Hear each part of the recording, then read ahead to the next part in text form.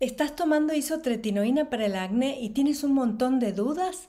¿Qué dosis diaria es la ideal y por cuánto tiempo tengo que tomarlo? ¿Cuándo me va a empezar a hacer efecto? ¿Por qué me siguen saliendo granos a pesar de que ya estoy en el tratamiento y llevo muchos meses? ¿Me brotará más al principio? ¿Qué medicamentos puedo combinar con la isotretinoína? ¿Y qué pasaría si una persona tiene problemas para tragar comprimidos? Las respuestas a todas estas dudas te las traigo en este vídeo. Muy bienvenido, soy la doctora Gloria Abad, tu dermatóloga de confianza.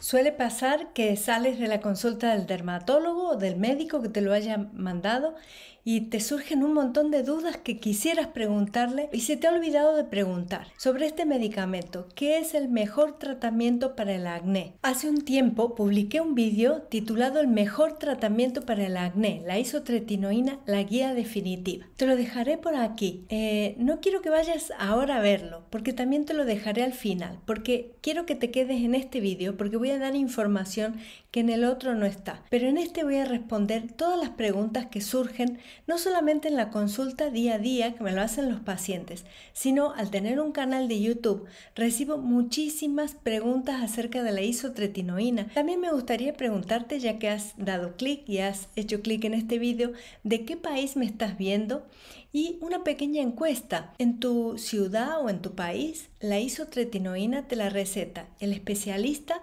el médico general o es de venta libre en farmacia. Hay países en los que este medicamento es de receta obligada del especialista, del dermatólogo. Me gustaría, por favor, si fueras tan amable de dejarme en los comentarios desde qué país me ves y si te lo han recomendado, fue un especialista, el médico general o lo has comprado directamente en la farmacia. Pero vamos rápidamente a las dudas más frecuentes. La dosis. ¿Qué dosis de isotretinoína al día se ha de tomar? Bueno, antes se hacía una dosis que era cálculo del peso del paciente y de una dosis total acumulada a la que había que llegar. Normalmente si una persona pesaba 60 kilos, se hacía un cálculo y normalmente resultaba unos 30 a 40 miligramos al día y la duración del tratamiento entonces era unos 6 o 7 meses. Hoy en día no existe un cálculo matemático para saber la dosis. Eso es una preocupación muy frecuente.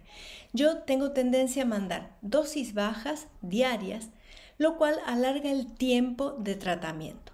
Esto en términos generales. Pero hay médicos que dan la isotretinoína no cada día, es decir, un tratamiento, por ejemplo, tres veces a la semana o de lunes a viernes. La dosis se ha de adecuar a cada paciente. No hay una norma o una regla fija. También, por supuesto, depende para qué lo mandemos. Recordemos que la isotretinoína es un tratamiento para acné, pero no solamente es para acné, trata más cosas. ¿Qué más? Por ejemplo, rosácea, por ejemplo, seborrea excesiva, foliculitis rebeldes a los tratamientos y la dosis diaria depende mucho. ¿Cuánto tiempo voy a tener que estar tomando esta pastilla? Esta es la segunda pregunta. Y también es preciso decir que la duración del tratamiento va, va a depender también de la dosis. Antes, como dije, era un cálculo matemático y se decía que de unos 6 o 7 meses. Al bajar la dosis diaria, el tiempo se alarga al doble. Entonces, normalmente unos 10 miligramos o unos 5 miligramos se tendrá que alargar un año. No hay una norma general. Es importante que este medicamento sea controlado por un médico, un especialista en dermatología mucho mejor, porque eh, se va a evaluar si siguen saliendo elementos nuevos, si el acné es muy rebelde, si es nódulo quístico, si tiene tendencia a dejar cicatrices, todos estos factores nos van a hacer un panorama de la duración del tratamiento. Yo tengo pacientes personalmente que han requerido tratamiento de isotretinoína por dos años consecutivos. Son casos raros y casos especiales, pero también está comprobado que si uno da una dosis baja durante el doble de tiempo, es decir, 10 miligramos o 20 por un año, el efecto va a ser más duradero y mejor que si tomamos mucha dosis al día. Una duda muy frecuente. ¿Me brotará el acné cuando empiece a tomar esta pastilla? Sí y no. Si tomas una dosis alta por día, 30-40 miligramos, es posible que al principio tengas un efecto rebote o que todo el acné que se estaba formando el medicamento lo saque para afuera. Pero si tomas dosis baja, este fenómeno de rebrote inicial no se suele dar. Otra duda frecuente, me dicen los pacientes, doctor, ¿hasta cuándo me van a salir granos? Ya llevo unos cuantos meses tomándolo y me siguen saliendo. Recordemos que este medicamento tiene una acción lenta y prolongada y está modificando tu piel desde dentro. Es como si fuera un peeling, pero desde dentro. Y lleva tiempo reducir la glándula sebácea, hacer ese peeling, destapar los poros. Entonces es normal que durante el tratamiento la persona pueda tener brotes. Estos brotes van a ser cada vez menos frecuentes y de granos menos agresivos. Pero es normal que te vayan saliendo elementos nuevos.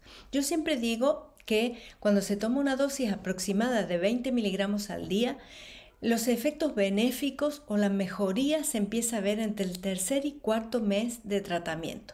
Si hablamos que la caja trae 50 comprimidos, alrededor de la segunda caja, unos tres meses aproximadamente, se empieza a ver la persona mejor. Eso no quiere decir que no te va a salir más granos. Pueden salir granos hasta bastante avanzado el tratamiento. Eso no te ha de deprimir ni te ha de desalentar. Esto es importante explicarlo desde el inicio del tratamiento para que la persona no caiga en una ansiedad, porque recordemos que la persona empieza el tratamiento con mucha ilusión y piensa que como es el mejor tratamiento para el acné, le va a mejorar en forma mágica y no va a tener más problemas. Pero es importante saber que la mejoría tarda bastante y que no salgan granos nuevos tarda aún más. En los tratamientos de un año de, duración suelen salir granos hasta alrededor del octavo mes de tratamiento. Otra duda frecuente, ¿qué medicamentos puedo tomar junto con la isotretinoína? Esto me lo preguntan muchísimo porque mm, Muchas veces eh, los pacientes se ven con un dermatólogo y pueden eh, satisfacer todas estas dudas, pero muchas veces no, no lo tienen tan al alcance y les surgen dudas continuamente. En el primer vídeo, el que les hablé de la guía definitiva de la isotretinoína, hablé que hay un solo medicamento que, que no se puede tomar con la isotretinoína y era el grupo de antibióticos tetraciclina.